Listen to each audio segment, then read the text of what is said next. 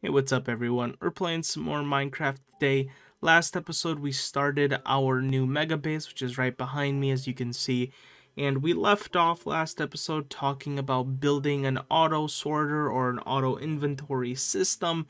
So we're going to pick up right where we left off. That's what I'm going to be starting on. Um, I think first I'm going to lay out all of the chests and then I'm going to build the actual system itself. But without further ado, let's just jump right into it. Okay, everyone, so a little update. Um, I told you guys I'd want to start working on an automated um, inventory system, and that's exactly what I have done. So I have not moved any of the items, and I have not built the actual automation parts itself. First, I needed to get a big layout of the entire inventory. So here's what I did.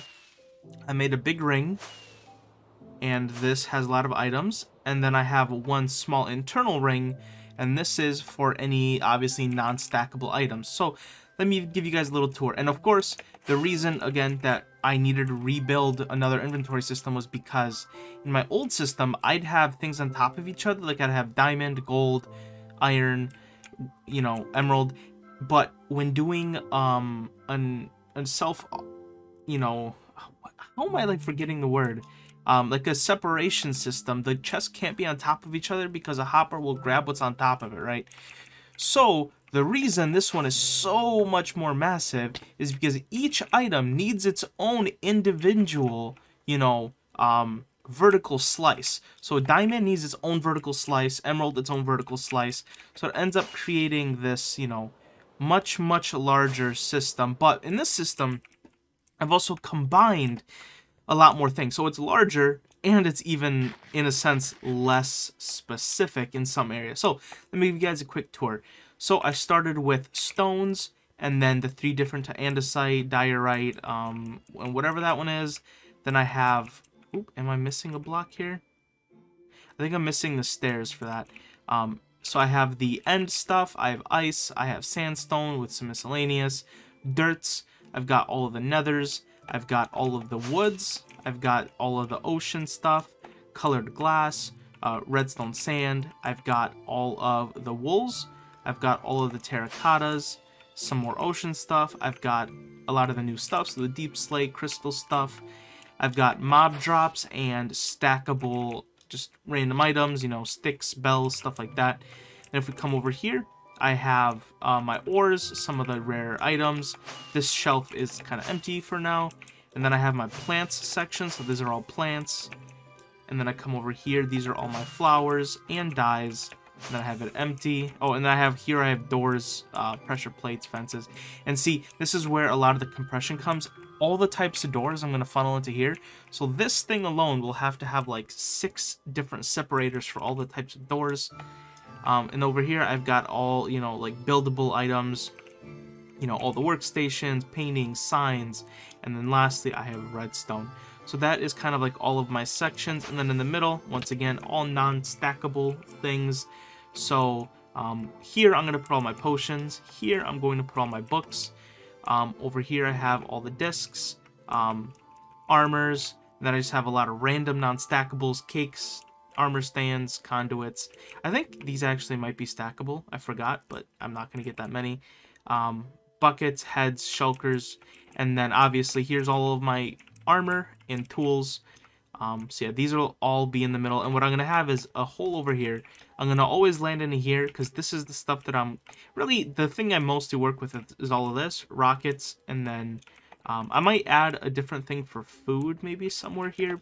Because right, right now my uh, food's technically right here in my food section, but um, yeah, originally, you guys see why are all these walls missing? Because originally, um, I had this out, oopsies, I had this outside donut ring and I didn't have the middle, and everything in the middle I put into these small holes, then I really didn't like how I had one inventory system, two inventory system, three, four, you know?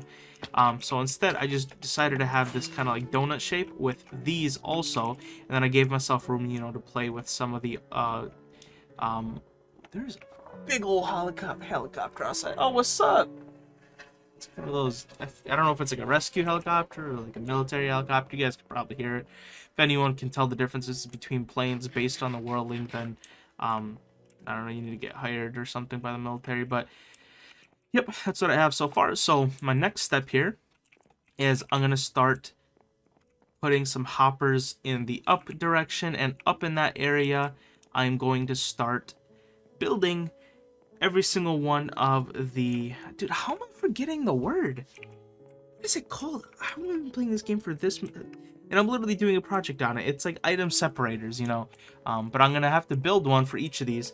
So in some sections like the colored glass you know I only have one item but even this is tricky because technically there's colored panes. So for each of these, I'm going to have to have two separate, um, you know, separators because I'm going to have to separate the panes too. Um, oh, anything that's marked with a stair, that means stairs and slabs. So for any stair, it also includes slabs um, because I wasn't going to make a slab and a stair uh, slice because that's just, I would have ran out of room to be honest.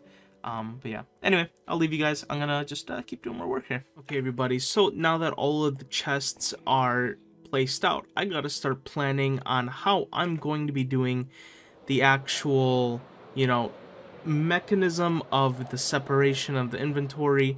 And I did mention it last episode, but I will be using um, this same system right here. So if you guys see this simple, simple design, it is a sorter, right? So items go through a pipe, and basically this uh, uses a comparator with a repeater and a redstone torch.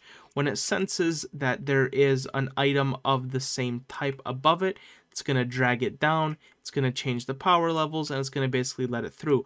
But if it's, you know, a different type of item, it's not going to change the power at all. This is going to stay locked, and it keeps moving through.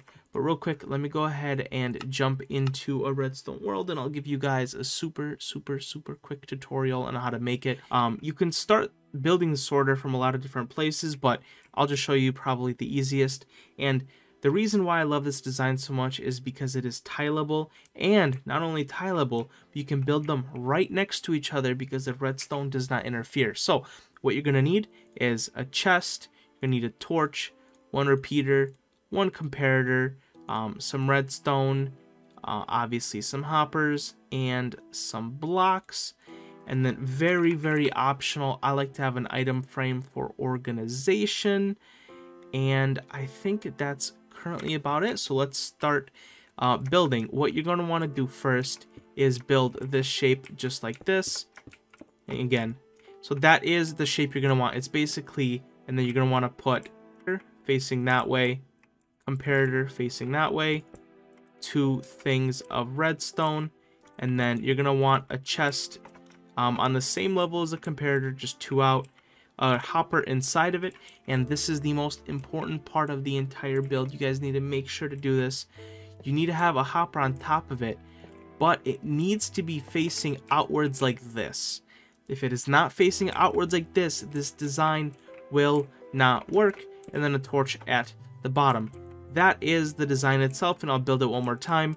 And again, you can start it from a different point. If you know you want your chest right there, you can go and start with the chest, put a hopper into it, put a hopper up top, and you could come uh, two out, then you could go one that way, one there, one there, bang, um, put a compare uh, repeater there, redstone, comparator, and torch. And that is the exact same thing, just built in a different style. But again, what's really nice about this, so that separates one item. But if you want to separate multiple items right next to each other, and there you go. Okay, so now, let's do some separation, right? So let's say those are the end chests. Um, let's start with one other super important tip. Make sure you don't have a block there or there. Um, it's going to mess up your signaling, so just don't have blocks anywhere. this won't mess up your signal, but I think this will because this will power this block and so just don't have a block there leave that empty um, what you're going to want to do is grab the items that you want to separate so let's just say you want to separate I think 22 right so because what we're going to need so I'm just going to split this in half 18 and then you're going to need four more of each item so you're going to do is you see this hopper that is sticking out inside this hopper stick 18 then add the 4 and then same thing, so continue. So you could stick 18, have 4 over there, And then let's grab another chest. Bang. Okay, so now your sorter is done. And again, what I recommend, and this is what I'm going to be doing, um, you grab an item frame, put it on this one right here, and then you could actually, you know, label what each of those is, just like that. Um, when one item gets sorted, you'll be able to see a little pulse. As you can see, the honey is going straight into there.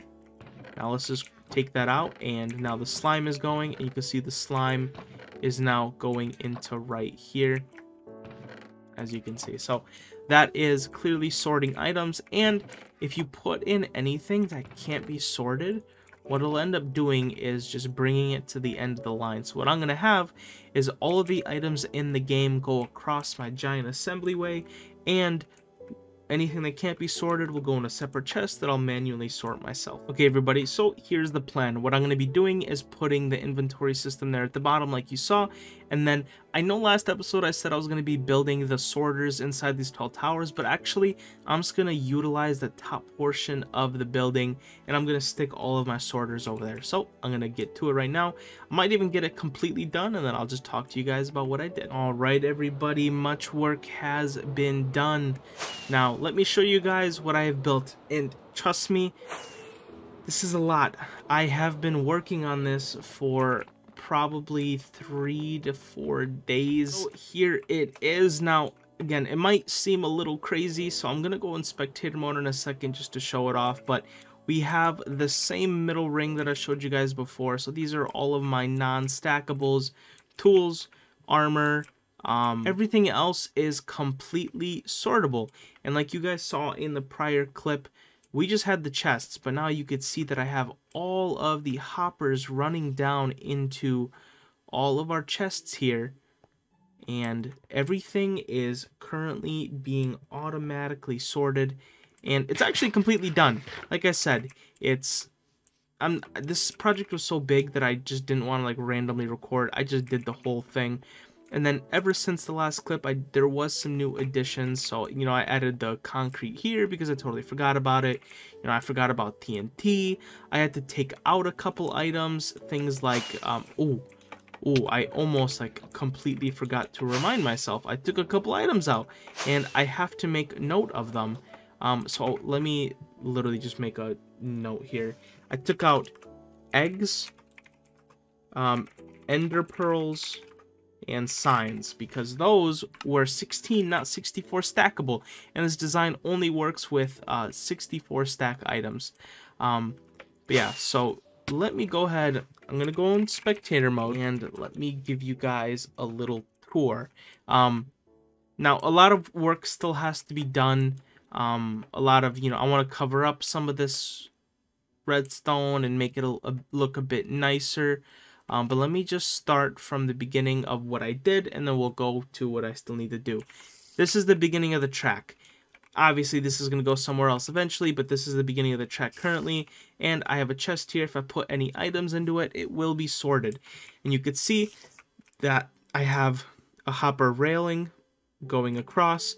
And under it is a bunch of um, sorters. Now, a lot of the same items I want to go in the same chest. So, you know, cobble in it's separate, stone in it's separate, brick in it's separate, but then um, the brick and the cobble slabs I want together, um, along with the stairs. Because if you guys look at all my chests, I always have the block and then the stair, but you don't notice any slab.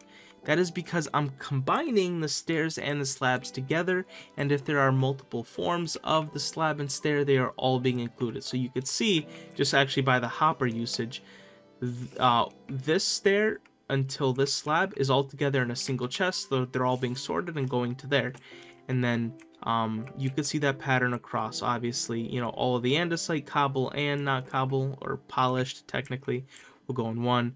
And that line runs across all the way until here. And then I guess I'll just take you guys through the entire line so you could see it. And then it swerves over here into some of the nether stuff. And then once again, same design, just like I showed you before.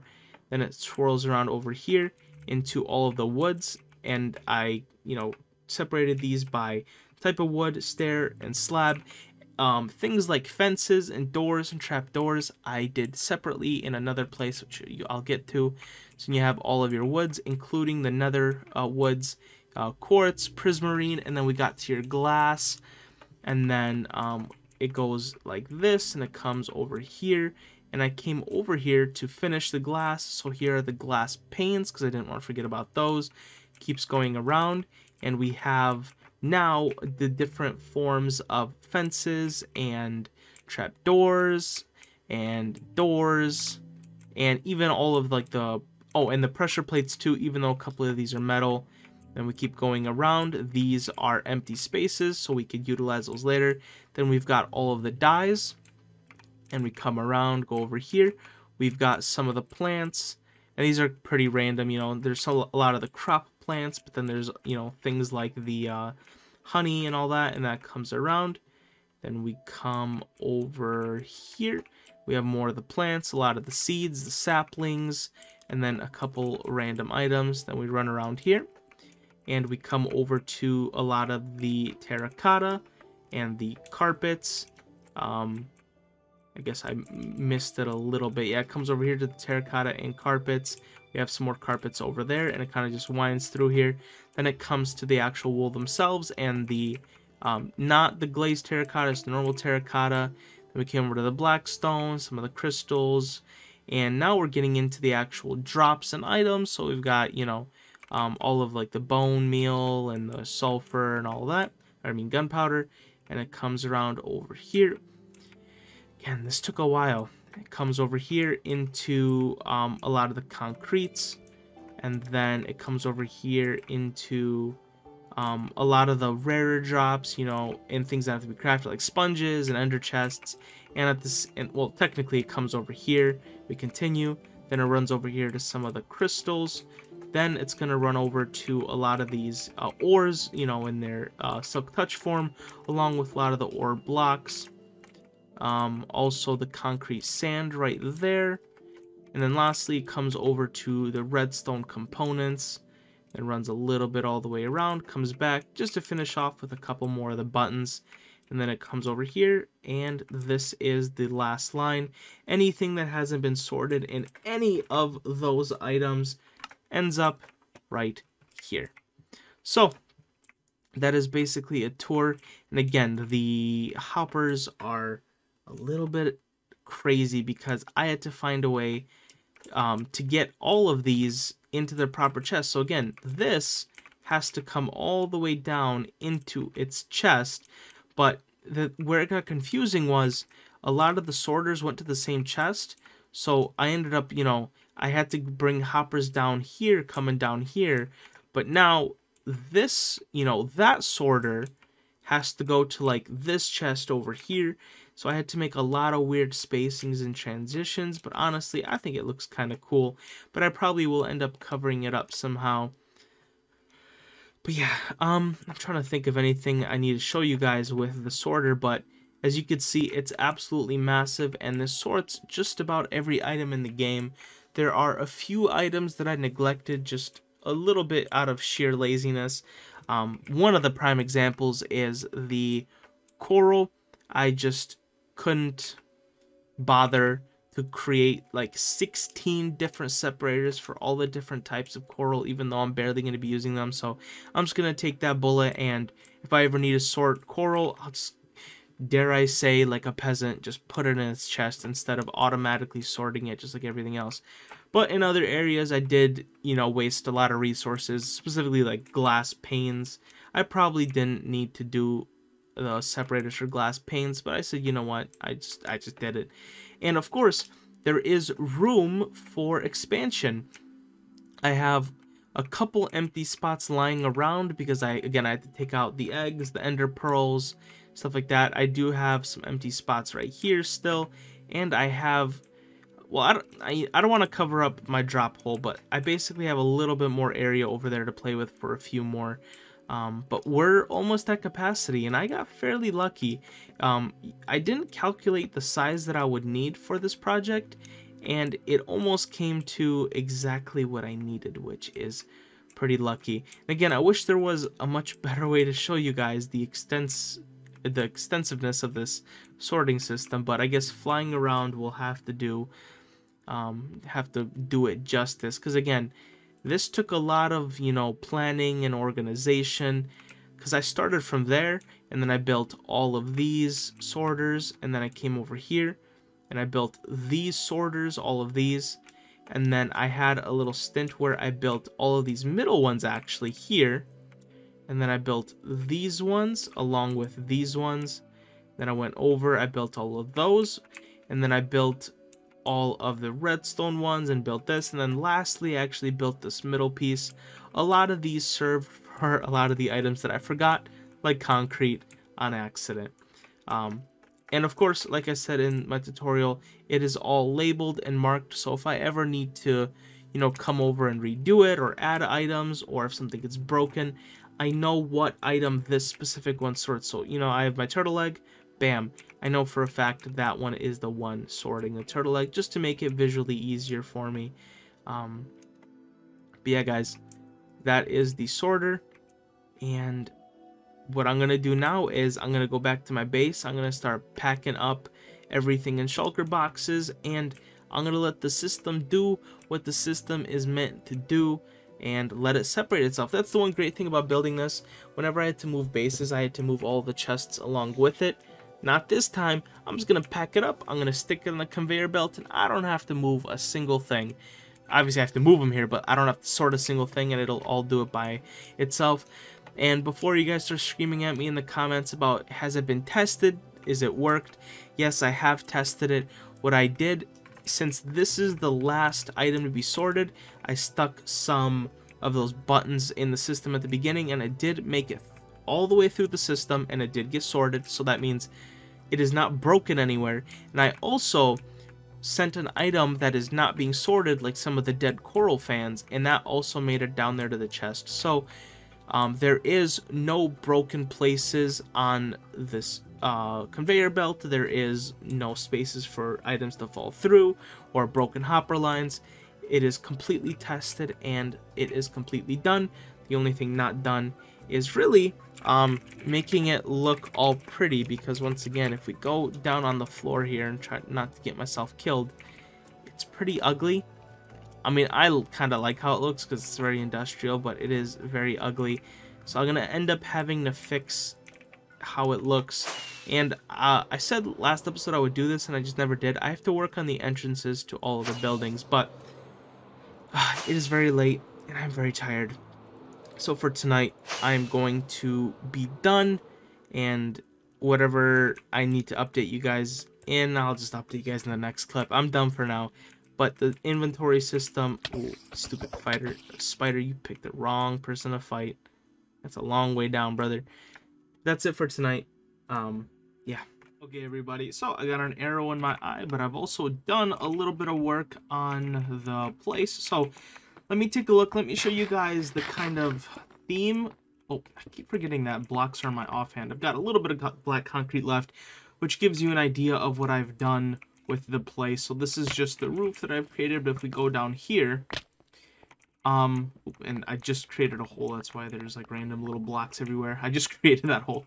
Um, okay, so this is the style I'm going for now still in the process. I'm still kind of working out what I'm thinking here, but like really what the thing I'm questioning is this area. I don't know if I should just make it black like everything else. Um, maybe if I should be using a different lighting source, but here's the idea, right? I want it to be like black void themed throughout my entire build. So as you can see, like if you look at the walls, you can't really tell how far it goes or the corners are, where the end of it. I mean, you could tell sometimes a little bit, but not really, right?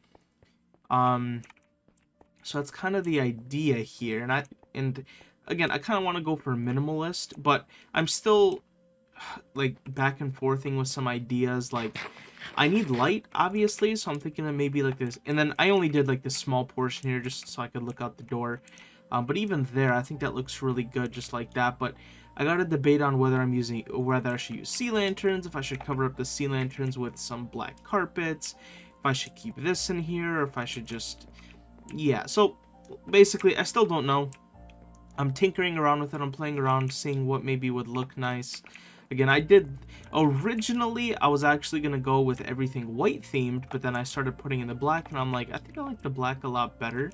And I just think, like, this is, you know, the emphasis is supposed to be on the inventory room, not on the room itself. So, what better way to make emphasis on the inventory room than to make everything black? Um, so yeah, that's that's the idea currently. Um, well, guys, I think I'm going to end this episode off here, and hopefully by the time I start next episode, I'll have an even clearer idea, and maybe I'll even have all of it done. We'll see. Um, but guys, thanks for watching. If you did enjoy, make sure to like and a comment, as it supports my channel, and I'll see you guys later. God bless, and goodbye.